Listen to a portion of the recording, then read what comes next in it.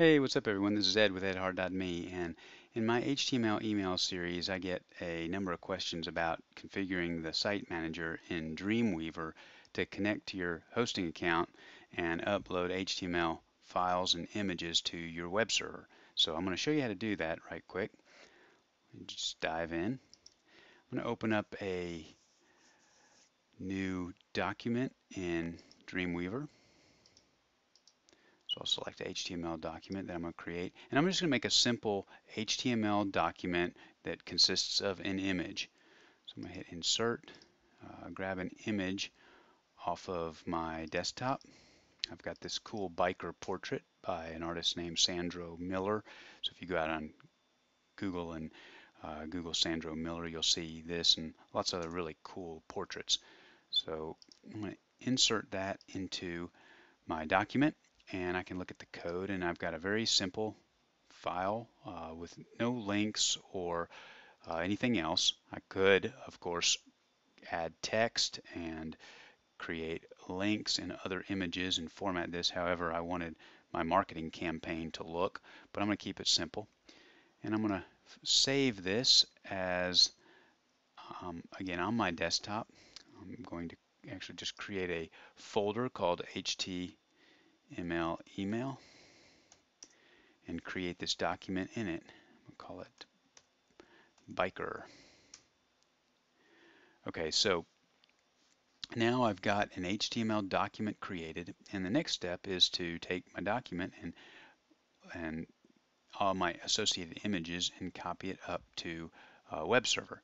To do that I can do it all within Dreamweaver I've got a couple of options actually. I can go to another program like FileZilla and do it that way, uh, but I can do it right within Dreamweaver by using Manage sites. And this is helpful if I've got a complicated uh, document with a lot of different images and I want to keep everything together and keep it organized and be able to edit and check it on the fly.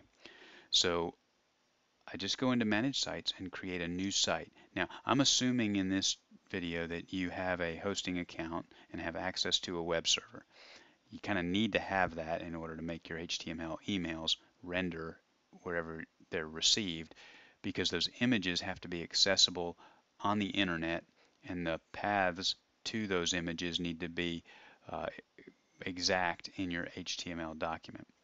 So I'll talk about that more in just a minute. I'm going to call this site HTML email I'm going to point my folder to it that I created just a second ago.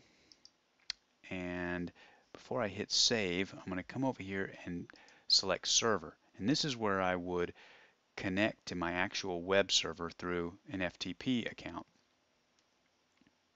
I just hit this plus, and if you don't have a web server, I'd recommend uh, going with Bluehost. Uh, they're inexpensive, they're good to work with, and uh, I use them. So I'm going to key in my FTP credentials. Now these are this is these are not the credentials that you use to log into your hosting account. These are specific FTP credentials that you set up within your hosting account for FTP access to your web server. And I'm sorry I can't uh, show this to you, but um, I don't need anybody logging into my web server and messing around.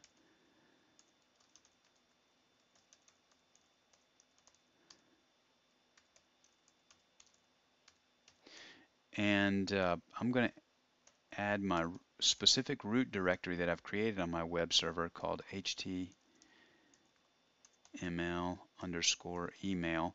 Um, I've already created that folder and that's where I want to put all my stuff so I can keep it organized on my web server so I don't have images uh, laying around everywhere. So I will hit the test connection to make sure I've set that up correctly and it looks like I did. If I didn't, it would just be because I mistyped something. And I'll save all of that. And now that I'm in my my uh, uh, back in Dreamweaver, I can look on the Files tab. And if you, you don't have this layout, it's probably because you have something different here. Um, so if you select Design, and then you go to your window and you make sure that that Files is checked, you can see that uh, here is the file I have on my desktop. I can see there's my folder and I'm looking at local view.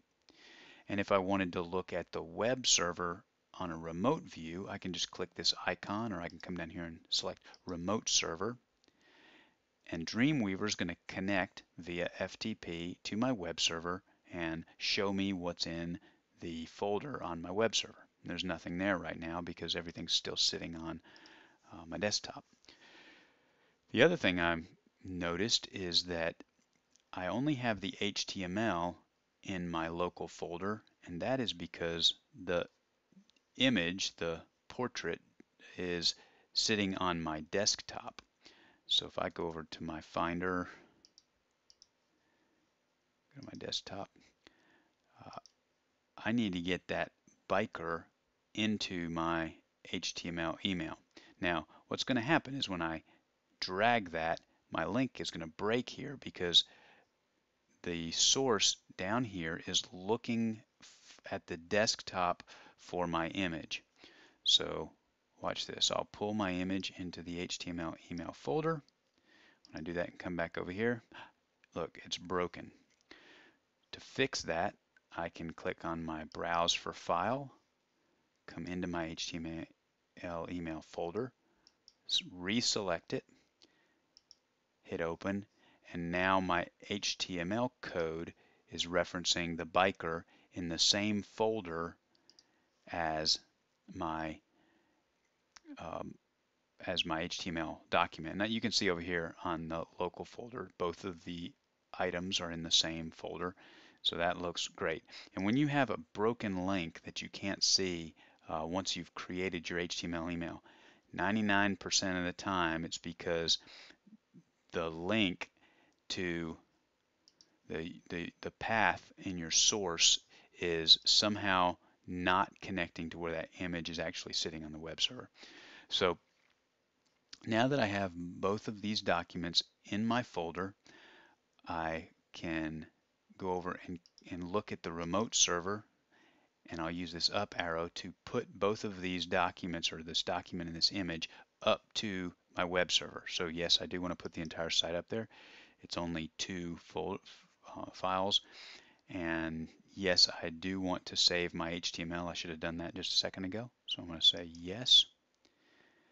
And I'll copy both of those up. Now, I'm looking at the folder on the web server and it has both of those documents.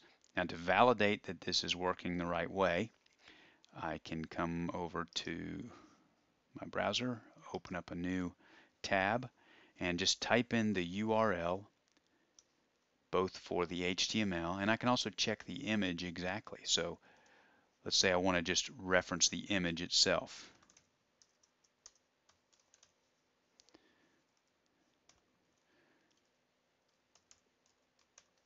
Now I have to have the image, uh, the path typed exactly correct for the image, and the image is biker1.jpg, I believe. And there it is.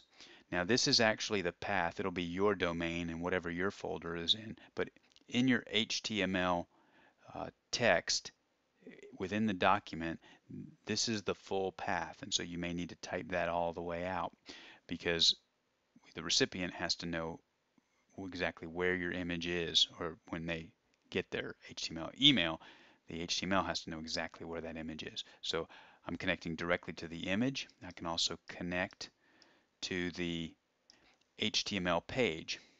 So that's biker.html. And once again, uh, it's giving me exactly the same image because the HTML document is referencing the specific image. So they look exactly the same, although the, the HTML file is, is really the container and the graphic is the biker one. And again, I can show it to you by coming over here to the code and the source is biker1 JPG. So that is how you use Manage sites in Dreamweaver to upload your images to your web server. Um, if you have other questions, come on over to my site, edhart.me, uh, post a question on my on one of my HTML email pages uh, or shoot me a comment in YouTube and I'll be happy to answer uh, whatever questions you have. I hope that was helpful and I appreciate you watching.